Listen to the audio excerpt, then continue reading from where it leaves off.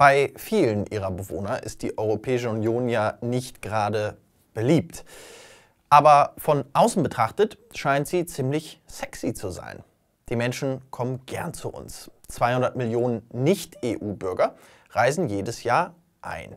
Manchem Besucher gefällt es so gut, dass er gar nicht mehr wieder weg will. Selbst dann nicht, wenn das Visum längst abgelaufen ist. Diese Leute nennt man die sogenannten Overstayer.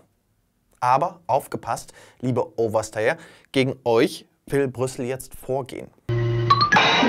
Entry Exit System oder kurz EES nennt sich der neueste Clou der Brüsseler Bürokraten. Ein Hightech-Vorhaben für die EU-Außengrenze, bei dem Erich Honecker feuchte Augen bekommen hätte. Zwar sind bislang keine Mauern und auch keine Selbstschussanlagen geplant, aber die Grenzkontrollstationen sollen kräftig aufgerüstet werden.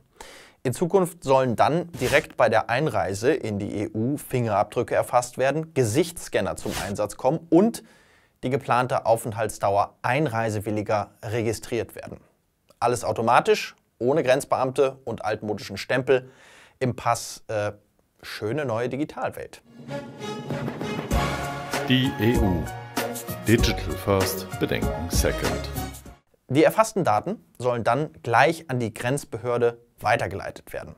Wenn jemand länger bleibt als angegeben, also an der automatischen Grenzkontrollstation keine fristgerechte Ausreise registriert wird, soll es eine Alarmmeldung geben. So wissen die Behörden dann gleich Bescheid, wenn sich jemand unbefugt auf EU-Gebiet aufhält. Ordnung muss schließlich sein. Sollte EES kommen, wird das leider richtig teuer. Gut eine Milliarde Euro allein in den ersten zehn Jahren, so Schätzungen. Denn die EU-Außengrenze ist lang, mehr als 14.000 Kilometer. Also dieselbe Strecke wie von unserem Studio hier bis nach Australien. 1800 Grenzübergangsstellen müssten mit der neuen Technik ausgestattet werden.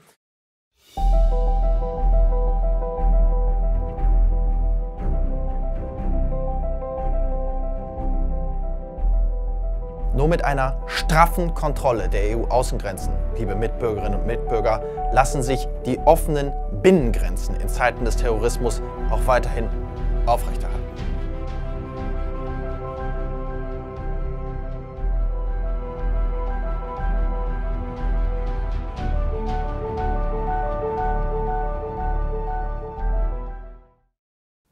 Kritiker halten dagegen, EES ist nicht nur immens teuer, sondern auch anfällig. Bei Tests versagten schon mal die Fingerabdruckerkennung bei sehr niedrigen Temperaturen und der Abgleich mit Kamerabildern misslang bei einem Pilotversuch am Stockholmer Flughafen in äh, zwei Dritteln aller Fälle. Und auf ein viel gravierenderes Problem stießen jetzt die Hausjuristen des EU-Parlaments. EES ist schlichtweg illegal, sagen sie. Denn die erfassten Daten sollen bis zu drei Jahren gespeichert werden dürfen, und das verstößt gegen das EU-Grundrecht auf Datenschutz. Demnach dürfen Daten überhaupt nur gespeichert werden, wenn es ernsthafte Hinweise auf Terrorgefahr oder Kriminalität gäbe. Der Rechtsdienst des Parlaments irrt, entgegnet Monika Hohlmeier, ihres Zeichens CSU-Abgeordnete im EU-Parlament. Außerdem landet der Datenberg allein bei EU-Behörden. Sensible Daten wie politische Position, Gesundheitszustand oder sexuelle Orientierung seien ja gar nicht enthalten. Teuer, ineffektiv, illegal und dazu noch genauso sinnvoll wie die Nominierung eines Kanzlerkandidaten durch die SPD. Es ist sehr schwer, das Problem zu finden, das mit dem Entry-Exit-System gelöst werden soll, sagt der belgische Politikwissenschaftler Julien Jean Desbos. Bei den Visa-Overstayern handelt es sich meistens um Studenten, die heimlich ein paar Wochen länger bleiben und nicht gerade um Terroristen.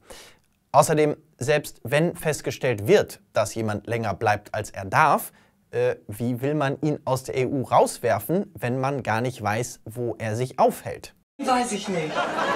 EES sei nur irgendeine Show-Maßnahme, sagt der Luxemburger Christdemokrat Frank Engel. Damit soll einer nach Law and Order dürstenden Gesellschaft signalisiert werden, wir tun etwas. Nur muss eine Showmaßnahme, der Walker EU Ranger, wirklich eine Milliarde Euro kosten? Anfang Oktober soll im EU-Parlament über ESS abgestimmt werden. Sollte es kommen, es wäre der nächste Schritt in Richtung Totalüberwachung und zudem ein gruseliges Instrument, wenn mal Rechte an die Macht kommen. Aber das wird natürlich nie passieren.